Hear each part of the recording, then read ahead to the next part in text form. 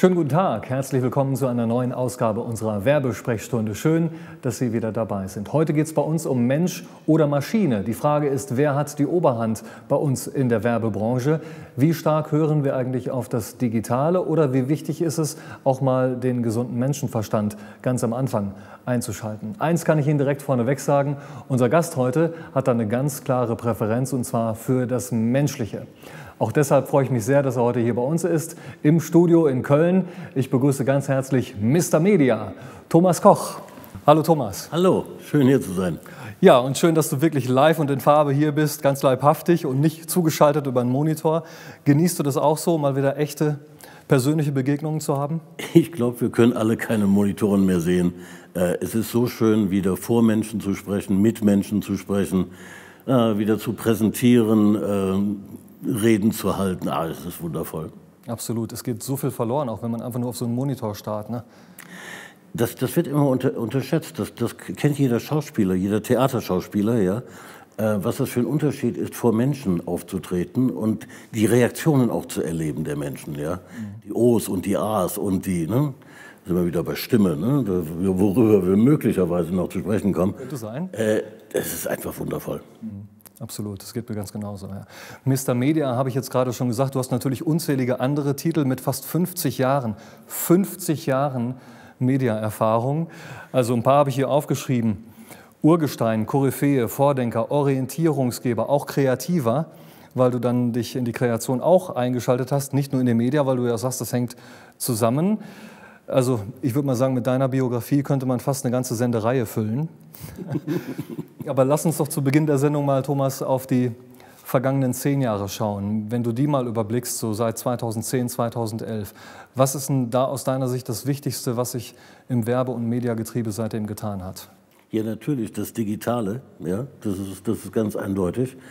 Ähm, wir, wir, haben, wir, wir haben jetzt 20 Jahre Umgang mit den, mit den digitalen Medien, was nicht sonderlich viel ist, nicht? weil Radioerfahrung haben wir 100 Jahre, Zeitungserfahrung haben wir über 300 Jahre, also wir stecken da noch in den Anfängen. Und, und man, man spürt sehr deutlich, ähm, wie, wie die Menschen versuchen, zu lernen, mit dem Medium umzugehen. Was wir noch nicht gelernt haben, ist die Fehler auszumerzen, die dabei entstehen. Gar kein Vorwurf, es ist völlig selbstverständlich, dass, dass man Fehler begeht. Und ähm, ja, was, was, macht der Mensch, wenn etwas Neues passiert?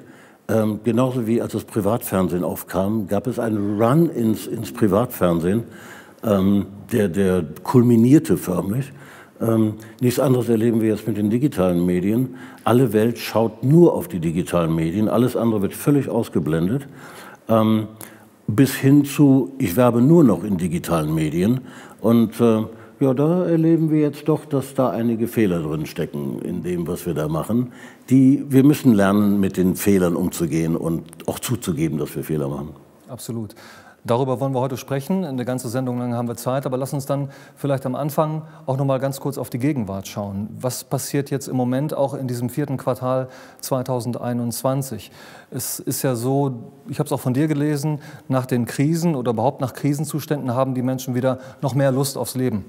Lust rauszugehen, Lust zu konsumieren. Ist das jetzt in Deutschland schon so dieser Punkt, dass die Leute wirklich wieder wollen, stärker raus wollen, auch stärker konsumieren, jetzt auch mit Blick auf das Weihnachtsgeschäft? Oder ist es in Deutschland jetzt noch nicht so richtig da? Doch, ähm, das, das, erlebt jeder von uns. Ich glaube, jeder kann es auch bestätigen, wie er sich fühlt in, in, in, der Situation. Man will wieder zurück ins normale Leben. So ganz geht es noch nicht. Ne? Da müssen wir uns noch, noch, noch bremsen. Ähm, so ganz normales Leben werden wir vielleicht im nächsten Jahr haben. Aber wir erleben es ja auch bei den Werbungtreibenden. Ja? Sie, sie, sie haben reichlich Geld eingespart in den letzten anderthalb Jahren, äh, manch zu viel. Äh, und, und, und haben jetzt auch hier Nachholbedarf an, an Reklame quasi.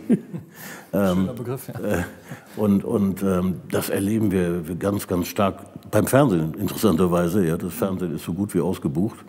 Ähm, ich glaube, damit haben die Sender selber nicht gerechnet, äh, dass, sie, dass sie so viel Nachfrage erhalten. Ähm, das gilt aber auch für die digitalen Medien. Ja. Die sind, äh, versuch mal gerade eine Premium-Platzierung zu bekommen bei, bei Spiegel oder so, mhm. so gut wie unmöglich. Ja. Mhm, absolut. Okay, also du sagst jetzt im vierten Quartal darf auf jeden Fall die Post abgehen, was die Reklame angeht. Mhm. Ja, wird sie, ja, ja, ganz eindeutig. Okay, jetzt haben wir einmal Vergangenheit gemacht, vergangene zehn Jahre, ganz kurz Gegenwart und jetzt bitte nochmal ganz kurz Zukunft. Die Frage, habe ich gehört, wird ja immer öfter gestellt. Wann wird eigentlich die Werbung vollständig digital? Oh, das weiß ich ganz genau. Erzähl. Äh, und, und zwar im Jahr 2050. Oh, bitte merken. Bitte merken. Äh, ich komme auch gerne darauf zurück, ne, in 29 Jahren.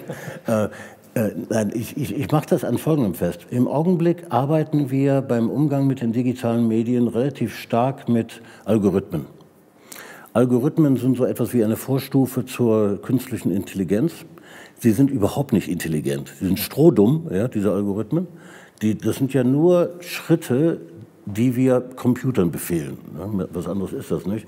Das heißt, die sind genauso schlau wie die Menschen, die da an dem Rechner sitzen. Ähm, das hat mit künstlicher Intelligenz nichts zu tun. Die, nach Aussage der, der Fachleute, äh, werden wir auch noch lange nicht erleben. Die kommt 2050 und da könnte es passieren, dass wir, dass wir so, so einen Break entdecken, äh, finden, ja, dass es äh, zu einem Umschwung kommt äh, und tatsächlich äh, die, die komplette Kommunikation digitalisiert ist. Dummerweise schreiben wir nicht das Jahr 2049, sondern 2021 und Marketing bereitet sich auf das Jahr 22 vor. Und ähm, da erleben wir ja sehr viele digitale Medienausprägungen. Wir erleben aber auch alle klassischen Medien in einem gesunden Zustand. Das gilt für Zeitungen, das gilt für Zeitschriften. Die Zeitungen haben drei Millionen äh, Nutzer hinzugewonnen, ja, natürlich durch das digitale Produkt. Ähm, aber die Zeitung ist nicht tot. Ähm, wir erleben das im Radio, wir erleben das im Fernsehen. Die sind alle gesund. Ja? Ähm, da, wo, wo ein paar jugendliche Nutzer verloren gehen, ja, signifikant, ne? also nicht nur ein paar. Das sind, das sind äh, Nutzer und Verbraucher, die interessieren uns vielleicht in fünf oder zehn Jahren, äh, wenn sie Kaufkraft haben. Mhm, mh. Derzeit hält sich das in Grenzen. Ne? Die Kaufkraft liegt bei den über 40-Jährigen im, im, im Wesentlichen, die die Haushalte führen und für den Konsum der sogenannten Fast-Moving Consumer Goods verantwortlich sind, die die Reisen machen und eine, unzählige Beispiele. Äh, also auch hier gilt, äh, wir schreiben das Jahr 2021 und bereiten uns auf 2022 vor. Und da geht es eigentlich allen Medien recht gut von ihrer Nutzung her. Das heißt also, wenn man jetzt zu sehr auf künstliche Intelligenz und zu viel Digitales schauen würde, ich habe es vor kurzem so schön gehört, das Gegenteil von künstlicher Intelligenz ist die natürliche Dummheit, aufs Jetzt bezogen, wenn man zu sehr in das Digitale reinging. Und der andere sagt, es ist ja totale digitale Besoffenheit. Ich habe es jetzt auch in Horizont gelesen, wenn L'Oreal, ich will L'Oreal um Gottes Willen nicht unterstellen, dass da natürliche Dummheit am Werk ist, mhm. aber wenn die sagen, sie geben bis zu 70 Prozent jetzt ins Digitale rein, was das Werbebudget angeht, was sagst du zu solchen Verschiebungen innerhalb des, des Budgets im Jahr 21? Das müsste falsch sein. Müsste falsch sein. Das müsste falsch sein.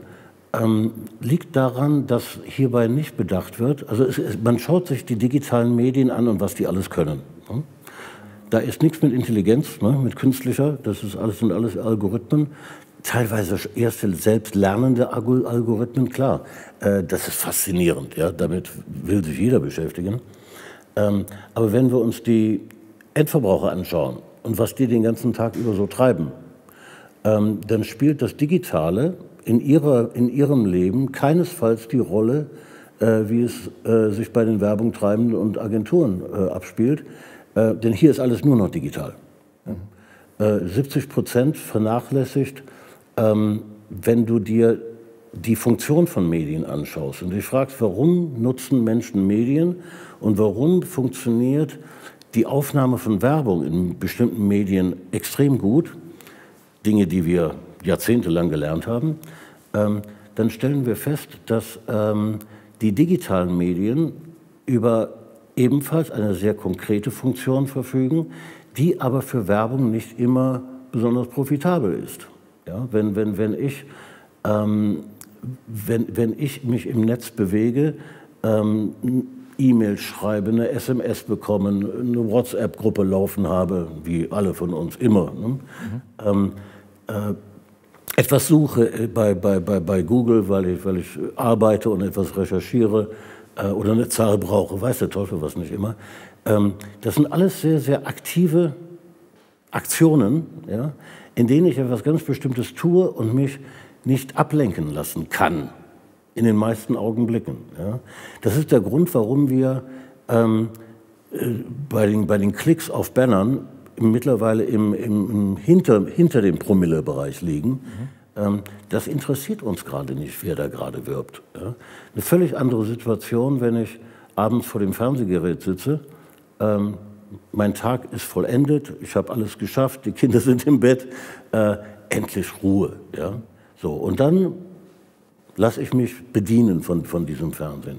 Genau die gleiche Situation, wenn ich im, im Auto, beim Autofahren Radio höre mhm. äh, oder, oder tagsüber zu Hause.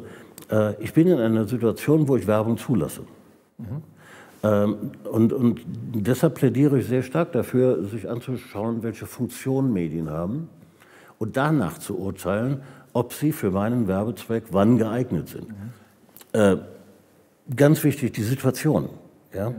Ähm, wir, wir haben als Mediaplaner, auch ich, nie gelernt, mit Situationen umzugehen. Uns zu fragen, in welcher Situation macht die Werbung richtig Sinn?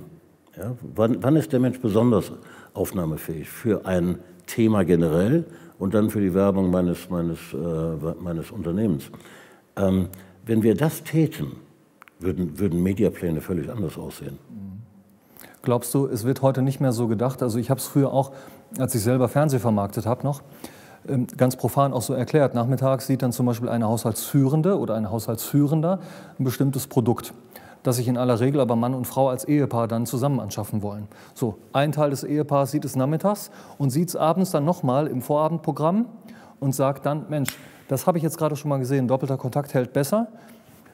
Sollen wir uns nicht mal einen schönen Mini anschaffen, zum Beispiel? Mhm. Funktioniert es doch so? Also ich finde, das sind jetzt mal zwei Schlüsselbegriffe, die wir festhalten sollten. Also Funktion des Werbemediums und Situation, hast du gesagt. Mhm. Funktioniert das so, wie ich es gerade beschrieben habe? Ähm, das klingt so ein bisschen nach der Customer Journey, ja? ähm, die natürlich total spannend ist. Und die, die digitale Welt liefert uns hier Informationen, äh, die wir zuvor nie hatten, ja, darüber, an welcher Stelle befindet sich der Mensch gerade in seinem Entscheidungsprozess. Ähm, das, ist, das ist total interessant, zum Beispiel für Automobilhersteller, äh, aber nicht für einen Bodenwaschmob. da, da, passieren diese Dinge anders. Ähm, aber ich, ich finde zum Beispiel, was, was du gerade angesprochen hast, ähm, diese, diese Frage, nutze ich ein Medium alleine für mich äh, oder nutze ich es mit anderen zusammen? Mhm. Ist das entscheidend für eine Entscheidung, für, für, für den Impuls der Werbung? Ja? Ähm, wenn, wenn ich mir, denke jetzt mal an so etwas wie, wie Reisen. Ja? Ähm, natürlich hat die Familie oder das Paar vor, irgendwann wieder zu verreisen. Wann setze ich jetzt meinen Impuls? Ja, setze ich den, wenn jemand am Rechner sitzt und gerade einen Artikel für den WDR schreibt? Ja? Ist das der richtige Augenblick, um ihm mit dem Impuls zu kommen, Mensch, du brauchst doch Urlaub. Ne? Äh, oder ist der Impuls dann interessanter, wenn, wenn das Paar oder die Familie ein Medium gemeinsam nutzt? Ich habe jetzt gerade so einen Fall, da präsentiere ich morgen. da da geht es um diese Frage. Ja? Ist, ist das wichtig, dass, dass wir die Menschen in der Situation erreichen, wo sie das gleiche Medium gemeinsam nutzen? Ähm, in diesem Fall sage ich, kann jetzt nicht verraten, worum es geht. Ähm, ja, es ist für den Impuls wichtig, dass die beiden zusammen erleben, äh, die, diese, die, diese Werbebotschaft erleben. Mhm. Ja, um nicht natürlich Sekunden später, aber vielleicht ein paar Tage später, sag mal, wollten wir nicht eigentlich, ja? Oder mhm. ähm, und, und, und, dieses sich in hineinversetzen in Menschen äh, ist, ist etwas, womit ich in den letzten fast 50 Jahren meine größten Erfolge gefeiert habe, mit Teams, äh, macht man ja nicht alles alleine, aber immer dann, wenn es uns gelungen ist, den Menschen zu verstehen, dabei haben uns Daten immer ein bisschen geholfen, aber äh, sie geben eigentlich nur so, so einen Anstoß. Ja? Äh, ich, ich muss die Menschen kennen, ich muss mich darüber schlau machen, wie, wie sie leben und wie, wie sie ticken. Ne, ein wichtiger Begriff dabei. Mhm. Ähm, und dann kann ich kann ich, wähle ich plötzlich völlig andere Medien aus für, für, für, für meinen Mediamix. Äh, und wie gesagt, in den Fällen, wo es uns gelungen ist, den Menschen im Endverbraucher, ne, das ist ja kein, kein Konsumnah, kein, kein, äh, kein, kein Mensch, den wir, den wir digital anklicken und schon kauft er. Es sind ja Menschen. Und wenn, wenn es gelingt, die, diese Menschen zu verstehen, dann kann ein Kampagnenerfolg unvorstellbar durch die Decke gehen. Das finde ich unglaublich stark, dass du das so mal sagst, weil es ist ja so, so wichtig. Eigentlich eine Selbstverständlichkeit mit der Betonung auf eigentlich. Ne? Weil die Realität ist ja schon die, dass auch Werbeleiter, Marketingentscheider reporten müssen. Auch gerne mal im Controlling dann sich rechtfertigen müssen, gerne auch über Kennzahlen, über einen günstigen Einkauf und so weiter. Ne? Ja, vor allen Dingen, was sie müssen, ist, 80 Prozent von ihnen müssen Fehler machen. Du kennst doch die Pareto-Regel. Ja, die Pareto-Regel sagt, 20 Prozent der Ursache haben 80 Prozent der Wirkung. Und das ist ein universelles Gesetz. Ähm, übertragen auf Werbung heißt es, dass 20 Prozent aller Kampagnen, die gerade draußen sind, 80 Prozent der Wirkung auf sich vereinigen. So, das heißt, wir brauchen umgekehrt ne, 80 Prozent Marketing-Leute, Kreative und Media-Leute, die grundlegende Fehler begehen, mhm. damit die 20 Prozent erfolgreich sein können. Okay. ja, insofern. Vielleicht sogar noch daraus lernen können. Äh, ich, ich, bin dagegen, alle schlau zu machen. Ne? Also ich hoffe, es gucken hier jetzt nicht alle zu, ne? äh, sondern nur diejenigen, die sich dafür interessieren und es besser machen wollen. Mhm. Äh, aber diese Regel, die, die, die, die steht nun mal, ja, und die gilt, die gilt nicht nur ähm, in der Schule. Ne? 20 Prozent der Kinder schreiben 80 Prozent der guten Noten. Es ist universell, das Gesetz. Ne? Äh, fasziniert mich schon seit Jahrzehnten. Ja, Finde ich auch total faszinierend. Aber nochmal eben zu diesem menschlichen Punkt. Da haben wir ja auch ganz am Anfang drüber gesprochen. Was ist es jetzt, Mensch oder Maschine? Sind es eher auch Gefühle oder Zahlen? Ich versuche es mal so grob zu unterteilen, weil du hast ja auch ein Buch geschrieben, das trägt diesen schönen Titel Zielgruppe ist auch nur Mensch. Mhm. Oder die Zielgruppe mhm. sind auch nur mhm. Menschen. Das heißt also, ganz am Anfang einer Kampagne muss ich mir erstmal wirklich das sehr, sehr ernsthaft und sehr, sehr gut überlegen, was will ich eigentlich sagen, was ist mein Stimulus. Richtig? Äh, ist der einzige Weg. Äh, denk mal an den anderen. Denk mal, wir hätten noch viel mehr Daten als, als, als vorher über den, den Verbraucher und was er tut. Ähm, und wir denken uns jetzt mal aus, wir arbeiten für einen Baumarkt. Ja? Mhm.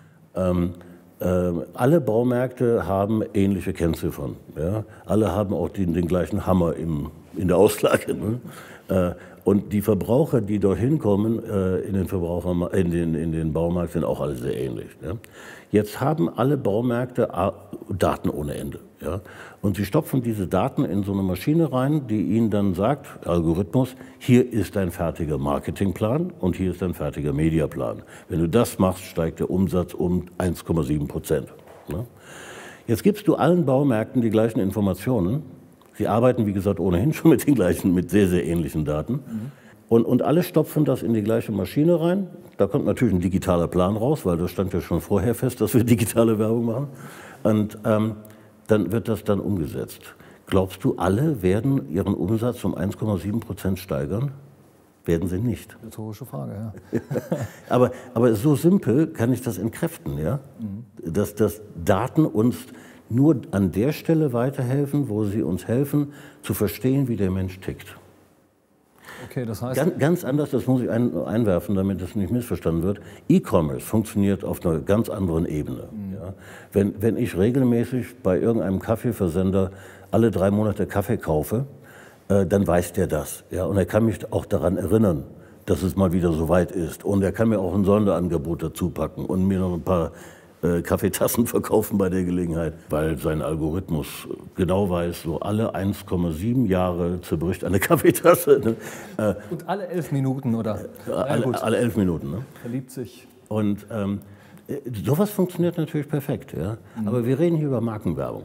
Nicht über E-Commerce. Ich finde das sehr sympathisch. Also wir beide haben jetzt einen Baumarkt, Parfümerie des Mannes und wir fragen Daten ab ohne Ende. Das heißt, dein Plädoyer ist umgekehrt gedacht jetzt auch das, dass man sagt, komm, vergiss das mal, so viele Daten zu erheben, kümmere dich mehr um die Kreation. Wenn ich mir zum Beispiel die wirklich wahnsinnig guten Kampagnen von Hornbach anschaue, ist, ist das dann äh, die Quintessenz daraus, dass man eher, eher dann aufs Kreative gucken sollte und eher auf die Geschichte? da haben wir ja, äh, da sind wir wieder beim Thema äh, aus Fehlern lernen. Ähm, die Kreation sagt selbst, äh, dass sie von der Bedeutung her in den Hintergrund gerückt ist. Ja? Media spielt eine viel größere Rolle heute im Umgang mit, mit, beim Umgang mit, mit Kommunikation. Völlig zu Unrecht, ja? weil ähm, wenn, wenn, wir hier die Wissenschaftler bemühen, dann, dann sagen die uns, 60 Prozent des Kampagnenerfolges rührt von der Kreation her, kommt aus der Kreation. Sie macht den Unterschied. Äh, wir Medialeute mit unseren Daten ohne Ende, mit unseren Customer Journeys, mit, mit, mit, mit, unseren, mit unserem unvorstellbaren Mediadatenwissen, ausgestattet mit all diesen digitalen Kanälen, wir, wir sind höchstens für 20 Prozent der, der, der Wirkung einer Kampagne verantwortlich. Ähm, da würde ich als Kunde doch zuallererst mich mit den Kreativen zusammensetzen und nach der Idee suchen. Ja? Ich arbeite, seit ich denken kann, wahnsinnig eng mit, mit Kreativen zusammen ähm, bis zum heutigen Tag. Das macht eine unglaubliche Freude. Und vor allen Dingen, äh, was, was, was oft unterschätzt wird, sehr, sehr viele Kreative haben ein sehr, sehr gutes Gespür für Medien. Mhm. Die haben keine Daten. Die, die, wenn, wenn, wenn du die mit Daten traktierst, dann schlafen die ein. Ja, das ist, geht mir auch manchmal so. Ähm, aber sie haben ein Gespür dafür, wie man mit Medien umgehen kann. Ja? So. Aber, und das nehmen wir ihnen weg, weil Media schon vorher, lange bevor die Kampagne überhaupt ausgedacht wird, beschlossen hat, wir machen 70 Prozent digitale Werbung und 30 Prozent Fernsehen. Und da sagt der Kreative, ja, aber die Idee, die ich da habe, die ist eine Plakatidee oder eine Radioidee. Ja, die kann ich im Radio genial umsetzen. Und der Kunde sagt, nee, Media ist schon gebucht. Mhm. Wie gesagt, lass die 80 Prozent Fehler machen, das ist ganz wichtig, damit die 20 Prozent Erfolg haben. Das heißt, am Anfang die Idee, super, super wichtig. Und aus der Idee abzuleiten, was ist dann eigentlich das passende Medium in der Funktion und dann auch die Situation beachten. Also welche Zeitslots buche ich zum Beispiel ganz profan in dem jeweiligen Werbeträger? Die Botschaft, ja. Ich, ich, ich kann als Mediaplaner doch keinen Mediaplan entwickeln, wenn ich die Botschaft nicht kenne. Ja? Alles, was ich eben gesagt habe über das Endverbraucher verstehen. Ja? Äh, ist natürlich, natürlich wichtig, aber ich muss natürlich auch die Botschaft kennen. Ja? ist so ein kleiner Unterschied, ob es um ein schnell drehendes Produkt geht, um ein langlebiges Produkt, äh, mit welchem, mit welchem Argument ich daherkomme. Ja? Nehmen wir mal ein Beispiel Automobil- und Elektromobilität. Ja? Gibt es bestimmte Augenblicke am Tag, an denen ich für das Thema Elektromobilität besonders empfänglich bin? Ja? Ist das morgens beim Frühstück? Ich will die Frage jetzt nicht beantworten, aber die, diese Fragen müssen wir stellen. Ja? Ähm, wenn, wenn, wenn Dallmayr und Co., einige andere, abends um 11 Uhr im Fernsehen für Kaffee werben, denke ich mir mal so, stelle das einfach so in den Raum, vielleicht ist der Endverbraucher abends um 11 gar nicht so empfänglich für Kaffeewerbung. Ja? Aber diese Fragen stellen wir uns einfach nicht. Ich verstehe das nicht. Das Schönste, und das ist ein echtes Beispiel, das habe ich in diesem Jahr gelernt, bei einem großen Fernsehsender im Morgenmagazin, im Sponsoring. Nee. Schlaftabletten. Aha, ich hatte, ich hatte befürchtet Bier. Aber kannst du dir erklären, wie das kommt? Ich habe einfach gedacht, okay, vielleicht ist jemand jetzt ja, natürlich kann ich das erklären. im Morgenmantel noch ähm, schlecht geschlafen, sitzt am Frühstückstisch und sagt, okay, das hätte ich gebraucht. Das, das passiert, wenn überhaupt keiner sein Gehirn einschaltet ja? sondern der Kunde sagt, ich zahle für ein GRP im Fernsehen oder für Kontakte im Fernsehen äh, X. Ja. Und die Agentur sagt, ja, wir brauchen aber 60 Prozent Primetime, weil sonst erzeugen wir die Reichweite nicht. Mhm. Ja, ist mir egal, kriegt das irgendwie hin. So.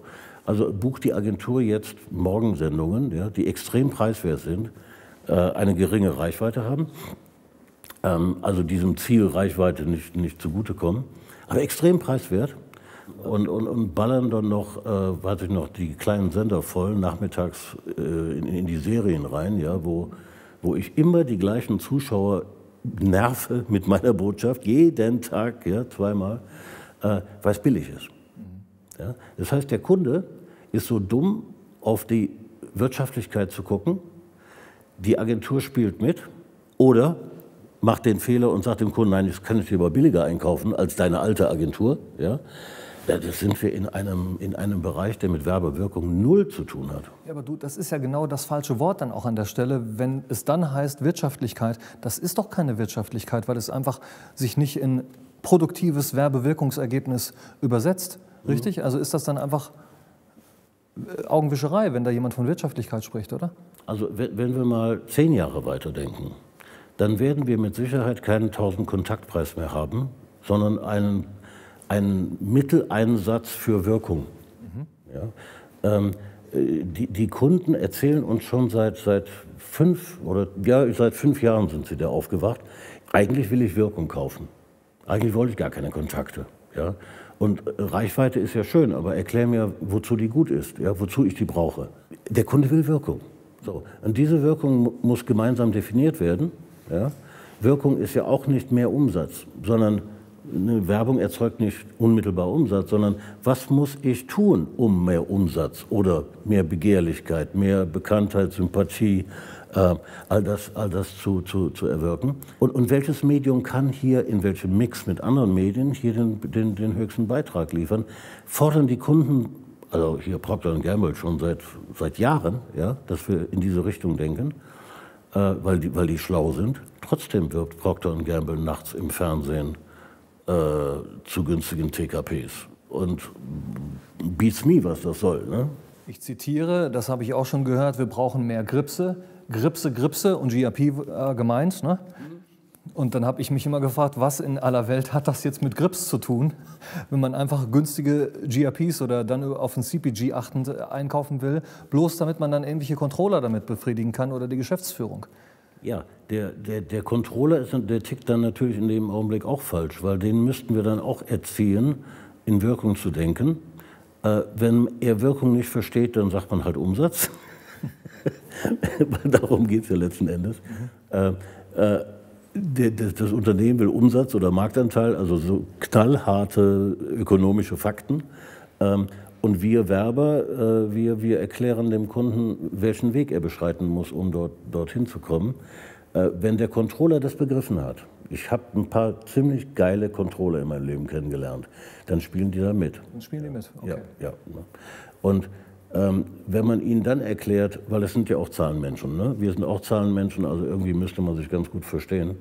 Mhm. Äh, wenn man ihn fragt, schau doch bitte mal in die, in die, in die Literatur, in die Wirkungsforschung und schau, blätter mal nach, ob du einen Nachweis dafür findest, dass eine günstige Werbung, günstig eingekauft, eine höhere Wirkung erzielt als andere. Und wir sehen uns dann, das wird jetzt ein paar Jahre dauern, bis du fertig bist mit deiner Recherche. Und es wird sehr enttäuschend sein, weil du wirst nichts finden. Du wirst in dieser großen Bibliothek nicht fündig werden. Aber wo du gerade Literatur sagst, ich habe mal geguckt, was hier äh, die Requisite mir hier hingelegt hat. Ganz passend jetzt in dieser Sekunde. Einmal dein Buch, Media leicht gemacht, kommen wir gleich noch drauf zu. Siehst du, ich habe es durchgearbeitet, Post-its kleben dran.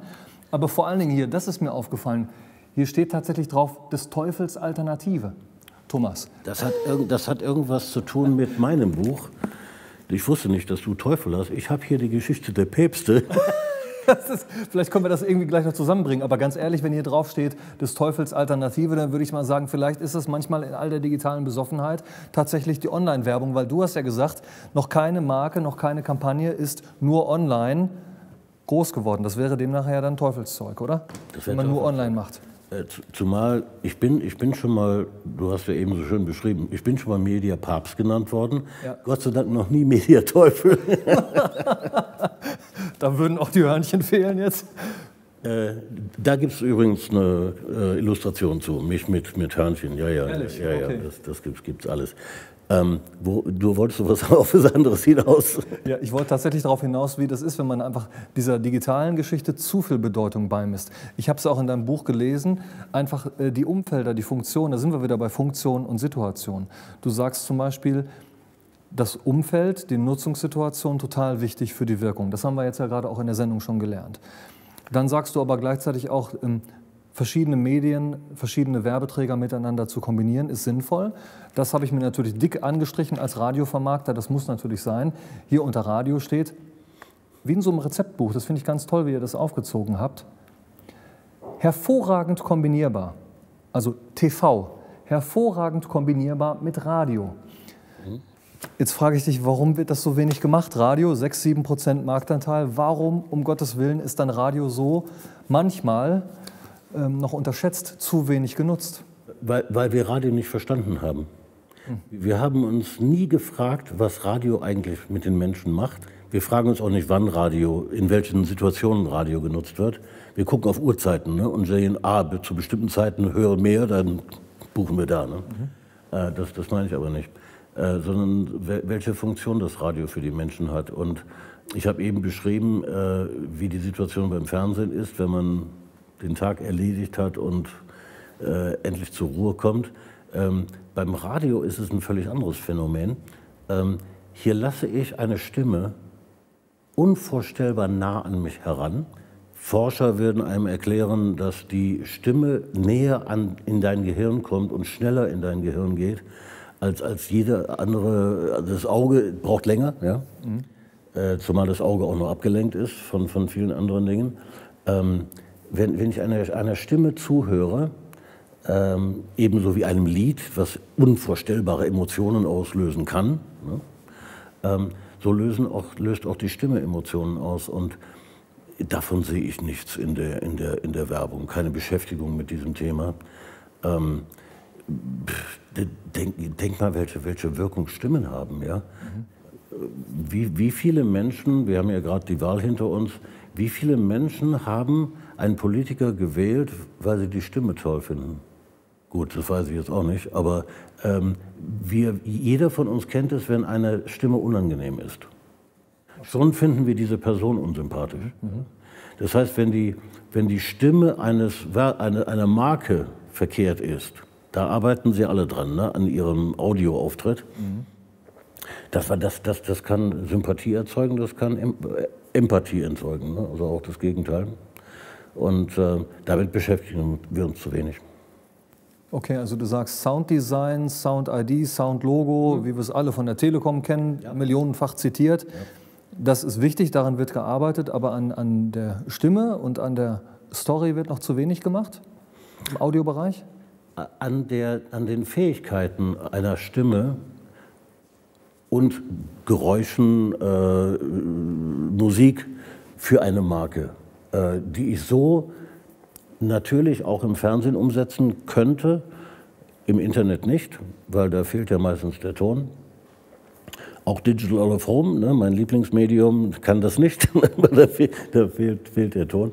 Ähm, Radio ist Ton pur. Ne, das, äh, und, und wenn, man, wenn man sieht, wie pff, ja, mal wieder in allen sächsischen Ländern äh, mit dem Medium anders umgegangen wird, ähm, Menschen in Storytelling, ne? Menschen in Geschichten involviert werden, Geschichten über Marken erzählt werden oder über Produkte, äh, dann bin ich immer völlig hingerissen. Ja? Also ich könnte stundenlang amerikanische Radiosender hören äh, und warte nur auf die Werbeblöcke, ja? weil dann kommt dann irgendein, ich weiß nicht, zwei oder drei Minuten langer Spot von IBM, ja? die hier niemals im Radio werben würden. Und die erzählen dann da eine Geschichte. Ja? Das, ist, das, das geht einem so nah. Mhm. Das nutzen wir einfach nicht. Wir werben jetzt an dieser Stelle einfach mal für deinen Podcast, Zwei Herren mit Hund. Äh, ist Audio, ja. Ist äh, Audio. Und, und ähm, wenn, jetzt sind doch gerade bei der, bei der Wahl die Menschen gefragt worden, warum hast du eigentlich diese Partei gewählt? Ja, war es der, äh, war's der, der, Kanz der Kanzlerkandidat, war es das Programm, war es irgendwas anderes? Wenn wir unsere Hörer, der Kai Blasberg und ich, unsere Hörer fragen würden, äh, warum hörst du diesen Podcast, dann würden erschreckend viele sagen, nicht wegen des Inhalts, sondern wegen der beiden Stimmen. Schließen Sie einfach für einen Moment mal die Augen und lauschen dem Thomas Koch. Dann wissen Sie, was er meint. Ich, ich habe mal vor Ewigkeiten, ich, ich, präsentiere ja niemals mit PowerPoint, äh, sondern immer nur mit dem gesprochenen Wort. Und ich habe mal bei, bei äh, einem, einem Kongress, äh, das war sogar hier in Köln, äh, da, hab ich, da, da war der Raum so herrlich abgedunkelt und habe die Leute aufgefordert, ihre Augen zu schließen äh, und nur meine Stimme zu lauschen. Ich weiß nicht, wie viele Leute dann anschließend auf mich zukommen. Das war ja ein unglaubliches Erlebnis. Dass ich, ich weiß. Großartig. Stimme, ja? Stimme. Du präsentierst nie mit PowerPoint? Null. Du machst keine Folien. Keynotes, keine Folien, nein. Immer nur Stimme. Ja. Weil du auch dann sagst, es würde auch zu viel von der Stimme wegnehmen oder von, von deiner persönlichen Wirkung, diese PowerPoint-Folien? Jeder von uns muss sich nur selbst beobachten. Ja? Wenn mir jemand einen Vortrag hält und hat, benutzt PowerPoints, dann wechsle ich ständig hin und her zwischen dem, was ich sehe und dem, was ich höre. Mhm. Da das ja nicht immer deckungsgleich ist, werde ich ständig hin und her gerissen. Ähm, und äh, ja, außerdem, ähm, do, you, do you use PowerPoint or do, or do you have something to say?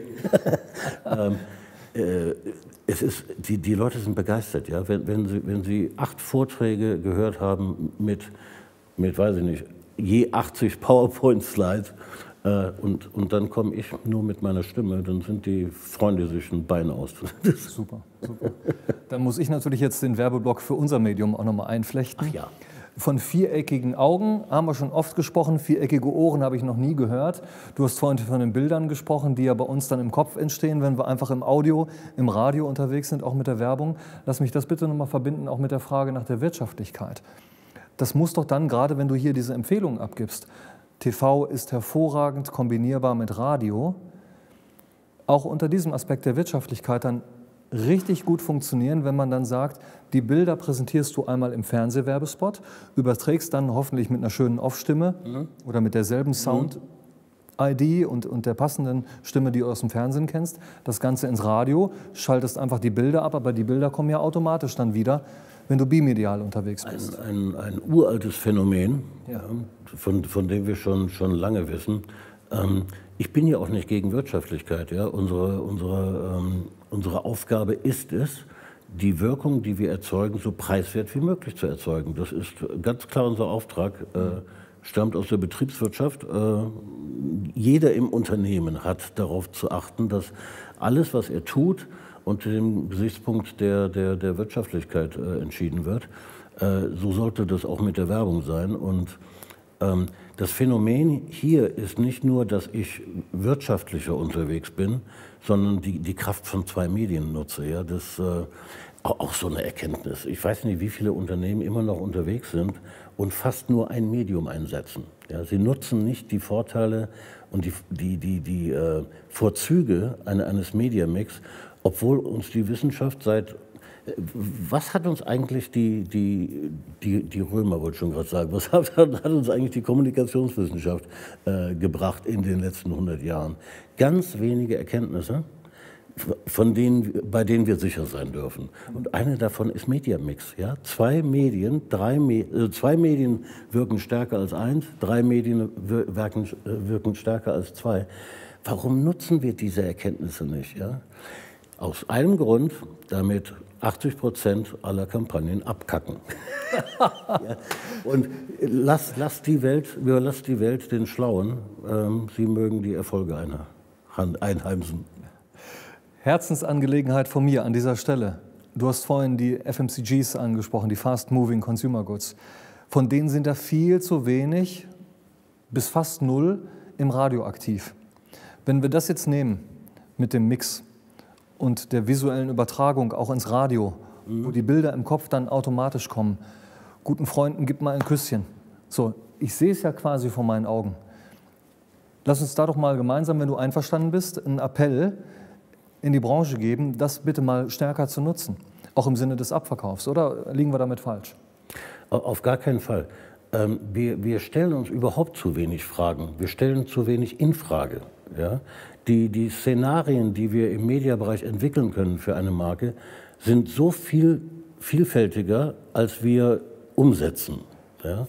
Einfach nur digital, digitale Medien, Social Media, ein bisschen TikTok dazu, weil es gerade in ist, ein Influencer nehmen wir auch noch dazu und Fernsehen. Und gut ist, nein, es ist nicht gut. Wir müssen viel mehr Fragen stellen und uns fragen, zum Beispiel, äh, was passiert eigentlich, wenn wir Radio hinzunehmen? Ja? Welche Funktion wird Radio übernehmen in diesem Mix? Und was kann es? Ja? Wo, wo kann es zur, zur Steigerung der, der, der, Wirkung beitragen? Und das müssen wir diskutieren zwischen Medialeuten und, und Kunden. Und nicht immer nur äh, die Frage, wie viel mehr Geld geben wir in digitale Medien aus. Das ist nicht die Frage, die wir beantwortet bekommen müssen. Ja, das würde ich gerne unterstreichen, weil du hast es ja vorhin selber gesagt, auch in der Funktion der jetzigen Nutzung, also ich will nicht die Überschrift der Renaissance der klassischen Medien jetzt wieder bemühen, mhm. aber so ein bisschen ist es ja so, wenn wir nach wie vor sehen, das Nutzungsniveau der klassischen Medien ist noch so hoch und dann bei den Kaufkräftigen, diejenigen, die wirklich ähm, Geld ausgeben und die viel Radio hören, die viel Fernseh gucken, dann dürfte man die doch einladen jetzt, all diejenigen, die Verantwortung tragen, ihre Kampagnen mit Trial and Error auch da reinzugeben, in diese klassischen Medien, um mal zu sehen, wie das jetzt funktioniert und dann nicht in so einer äh, digitalen Welt nur pur unterwegs zu sein, oder? Äh, erstens nicht pur, zweitens aufhören zu glauben, dass das der richtige Weg ist, weil auch wenn hier Papst und Teufel, das scheinbar sehr viel um Glauben geht, ähm, wir müssen von, von Glauben wegkommen und, und zu, zu, zu Fakten zurückkehren. Ähm, ich habe heute, äh, die, die äh, Reaktionen sind schon ziemlich krass, äh, in der Wirtschaftswoche meine, meine Kolumne geschrieben über Ad Fraud. Und wir müssen davon ausgehen, dass auch in Deutschland äh, mindestens 25 Prozent, wahrscheinlich deutlich mehr Geld an Verbrecher verloren geht. 25 Prozent? Das ist der Anfang, 25 plus. Äh, wir haben Zahlen, die liegen in Deutschland bei 77 Prozent. Die werden nicht hier in Deutschland erhoben, sondern außerhalb, weil wir rühren das Thema ja nicht an. Wir können, es gibt kein Medium, in dem ich mein Geld besser verbrennen kann als in digitalen Medien, wenn ich Fehler mache. Erklär nochmal ganz kurz. Ad Fraud zum Beispiel auch, also für die Zuschauerinnen und Zuschauer, zum Beispiel solche Klickfarmen, äh, auch Roboter, die Klicks erzeugen. Das sind, Bots sind, sind, sind kleine Computerprogramme, mhm. ähm, die in die Marketplaces eingebracht werden. Es geht um programmatische Werbung, ne, automatisierte, ja. äh, weil das ist ein gefundenes Fressen für, für, für, die, für die Verbrecher. Äh, diese, diese Programme werden eingeschleust in die, in die Marketplaces, tun so, als wären sie ein Mensch. Ja, sie bekommen ein Profil äh, sie bekommen eine Wanderschaft durch, über, über Websites, ja, sodass ich das rekonstruieren kann in meiner Maschine, ne, äh, in, in der Agentur oder beim Kunden. Ähm, und, und dann gebe ich meine Zielgruppe ein, ich will Frauen 30 bis 49 erreichen, die zuletzt einen Kühlschrank gesucht haben. Und dann gebe ich diesem Bot, ganz simpel gesprochen, das Aussehen einer solchen Frau und äh, lass sie einmal zu Miele gehen, ja, zu den Kühlschränken, auf die Kühlschrankseite oder zu, zu, zu Otto. Und schon glaubt meine Maschine, sie hat eine Zielperson vor sich. Wahnsinn. Liefert dorthin die Werbung aus, die läuft ins Leere, aber ich überweise. Es, fand, es findet eine, eine Ad-Impression statt. Mhm. Äh, der Kunde sieht es auf seinem Dashboard, er sieht es in seiner Abrechnung und bezahlt. Und ähm, Forscher in Amerika, da gibt es jetzt inzwischen einige Studien, die gleichlautend, äh, zu gleichlautenden Ergebnissen kommen, sagen, dass in Amerika etwa zwei Drittel aller Werbeauslieferungen, wir reden über Milliarden von Dollar jedes Jahr, äh, an, diese, an, an Bots ausgeliefert werden, also nicht für Menschen gesehen werden können. Ähm, es sind, es sind keine Versehen, es sind keine Streuverluste, sondern es sind Verbrecher dahinter, ja, die unser Geld absaugen. Einfacher geht es nicht, ja, äh, als den dummen Marketing- und Medialeuten das Geld aus der Tasche zu ziehen. Unvorstellbar. Und, und wir sind in Deutschland davon äh, ebenfalls betroffen. Wir wissen nur nicht genau, wie stark. Ähm, aber ist, wir sind stark betroffen. Das ist das, alle, alle Daten sagen das. Und ähm, auch hier muss das Glauben aufhören, dass es immer richtiger ist, immer mehr Geld in digitale Kanäle zu, zu verschieben. Ähm, während wir auf der anderen Seite Medien haben, die richtige Menschen als Nutzer haben. Ja? Wenn, wenn ich beim, beim WDR einen Radiospot kaufe, dann liegen da richtige Menschen dahinter, die zuhören. Ne? Das gibt es keinen Zweifel dran. Riesenthema. Absolut. Mit dem wir uns beschäftigen müssen. Und dann kommt an der Stelle natürlich auch jetzt, wo wir gerade bei diesem Teufelswerk waren, da darf man es sicherlich so sagen, Ad Fraud, noch dazu ähm, das Umfeld, was du angesprochen hast. Also bei den klassischen Medien, bei einem WDR 2, bei einer 1 Live zum Beispiel, ganz klar die echten Hörerinnen und Hörer, das echte Publikum dahinter, das du erreichst. Dann aber die Werbebotschaft in einem Umfeld, was auch ein geprüftes ist, ein amtliches, wie wir immer sagen. Also mhm. Mhm. echt recherchierte Nachrichten, no Fake News. Das kommt noch So, dazu. ja. und du hast ja diese Initiative mitgestartet, Stop Funding Hate. Magst du ganz kurz erklären, worum es da geht? Äh, Dann können wir das Teufelswerk im Online da noch ein bisschen hö höher treiben. Das, das, ist, das ist tatsächlich Teufels, Teufelswerk. Äh, hier sind, sind ähm, Organisationen und Interessengruppen unterwegs, äh, die die Absicht haben, unsere Gesellschaft zu beschädigen durch Hass und durch Fake News. Die haben auch einen Namen, weil die haben, treten mit Websites auf, wie Breitbart oder Wayne Dupree, äh, Epoch Times, Ausnahmeerscheinung dabei, so etwas wie Bearing Arms, das ist die Seite der US-Waffenlobby. Ähm, die verbreiten dort ihren, ihren Content und äh, leben von Werbung.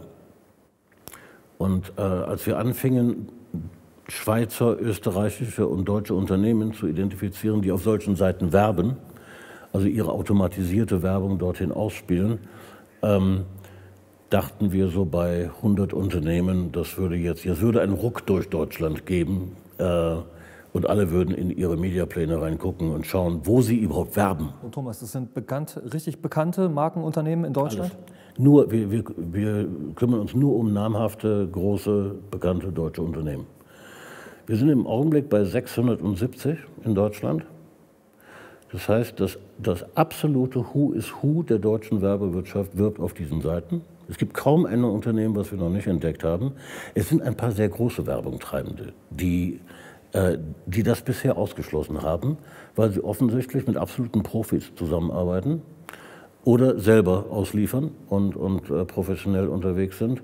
Also äh, so etwas wie Procter Gamble, weil eben erwähnt, ne, äh, haben wir noch nicht entdeckt auf diesen Seiten. Also es gibt da schon ein paar Profis. Aber allein die Zahl ist ja erschreckend. Ja. Äh, wir laufen auf 700 Unternehmen zu, die mit ihrer Werbung diese Seiten finanzieren. Ja. Der, der, der Imageverlust für die Marke oder dumme Fragen, die ähm, Aktionäre stellen könnten, was macht ihr eigentlich mit meinem Geld? Ja. Ähm, es ist eine Sache. Uns geht es eigentlich darum, dass diese Seiten mit diesem Werbegeld finanziert werden und darum, diesen Geldfluss zu stoppen, schlicht und ergreifend. Das ist absolut erschreckend. Wirklich erschreckend, ja. Und das, was mich als Mediaplaner dabei erschreckt, ist, dass wir zum ersten Mal eine Situation erleben, wo der Werbungtreibende nicht mehr weiß, wo er wirbt. Nicht? Wenn, wenn ich früher als Mediaplaner äh, dem, dem Kunden empfohlen habe, in der Begr- Brigitte zu werben, weil ich das für richtig hielt, dann erschien die Anzeige der Brigitte, ich konnte die anfassen und das war alles echt. Ne? Ähm, heute werden an, einer, an einem Dashboard Zielgruppen eingestellt und dann raus damit. Ja? Ähm, und dann, dann finden wir Blacklists vor, wo Unternehmen natürlich längst so schlau sind, bestimmte Seiten auszuschließen von dieser Auslieferung. Äh, aber diese Blacklists funktionieren nicht, ja, weil die, äh, die Gegenseite, die, die, die Bösen, sagen wir mal, die Teufel, ne, äh, haben längst Wege gefunden, das zu umgehen. Ja, die, die verändern einfach ihr, ihr Aussehen, ihre URL, sodass meine Maschine nicht mehr entdeckt, oh, das Stopp, das ist Breitbart. Nein, die, meine Maschine erkennt das nicht mehr. Das ist ja Wahnsinn. Also das ist ja fast Trojanermäßig, äh, was da abläuft Das ist ein anscheinend. Krimi, das ist ein Krimi eigentlich, ja. Und es gibt Tote dabei. Das lassen wir jetzt mal so stehen, Thomas. Ich kriege hier hinten aus der Regie schon äh, öfter mal ein Zeichen, dass wir schon längst unsere Zeit überzogen haben. Das ist mir aber auch völlig egal an dieser Stelle, weil es so unglaublich spannend ist, sich mit dir zu unterhalten. Ich glaube, wir könnten noch ganze weitere Sendungen füllen. Ja, könnten wir, glaube ich, ja. Lass uns mal eben versuchen, zusammen das Wichtigste für heute festzuhalten. Also, wir haben schon gesagt, die Idee, die Geschichte, die Emotionen, auch die Stimme im Auditiven unterschätzt, super wichtig. Funktion der Medien, die Situation, in die die Werbemedien dann eingebracht werden, beziehungsweise in der sie genutzt werden, super wichtig. Nicht zu viel online, 70 Prozent too much, hast du gesagt? Undenkbar. 70 Prozent. Nee. Ja. nee. Gerne weiterhin die klassischen Medien gut konzertiert, mehrere davon. TV, Print, Out of Home, Radio. Die sind alle lebendig, ja. Sie sind alle lebendig, kraftvoll und weiter am Start. Und was können wir noch festhalten? Irgendeinen Wunsch für die Zukunft? Ach, äh, ein- eines haben wir noch gar nicht angesprochen, das können wir aber ganz kurz machen. Ähm, ich, ich muss, ich muss meine, meine Kampagne anders ausliefern, ich nehme jetzt mal diesen digitalen Ausdruck, als die anderen das tun. Wenn du bestimmte Branchen beobachtest, dann stellst du fest, dass die den gleichen Mediamix fahren. Ne? Ähm, das hat mich immer fasziniert.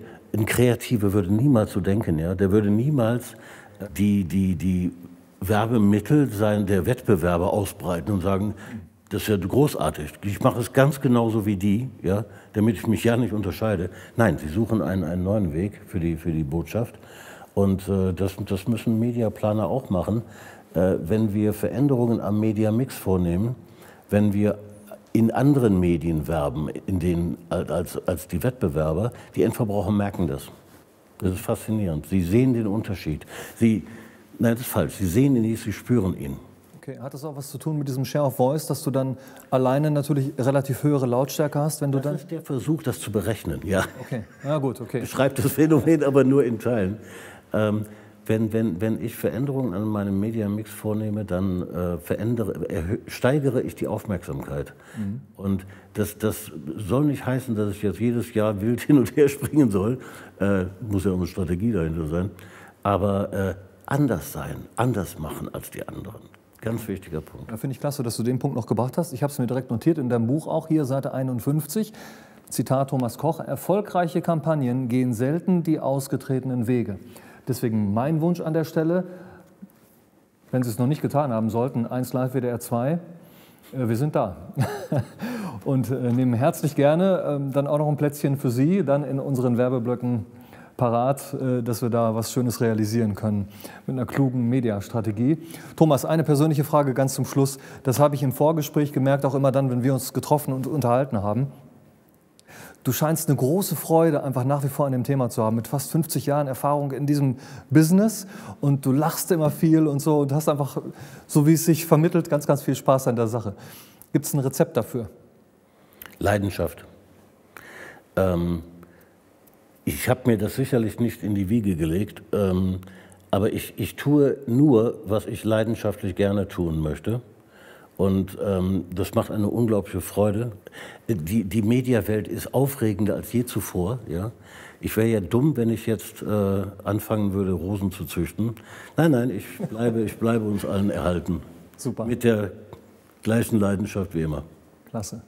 Vielen lieben Dank fürs Kommen. Das nehmen wir an der Stelle auch als Kompliment, dass du hier bei uns im WDR-Studio warst heute. Ganz einfach, weil du Lust drauf hattest. Ganz genau. Ich danke sehr für die Einladung. Also Thomas, dann schönen Dank und Ihnen allen schöne Woche noch und auf bald. Tschüss.